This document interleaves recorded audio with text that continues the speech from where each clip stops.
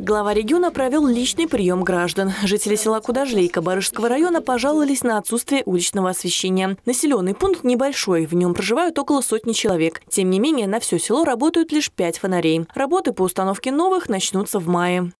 Направим 223 тысячи рублей на Кудажлейку для того, чтобы начать эту работу. И в первую очередь поставим там три опоры, проведем три на улице Молодежной, это в районе домов 12-20, и один на улице Мира 26 возле дома. В селе Оськино Индинского района построят новый фельдшерско-акушерский пункт. Старый находится в здании 1973 года. У дома просел фундамент, в стенах образовались трещины, разрушается кирпич. А медпункт обслуживает не только жителей Оськина, но и соседнего поселка Подгорный.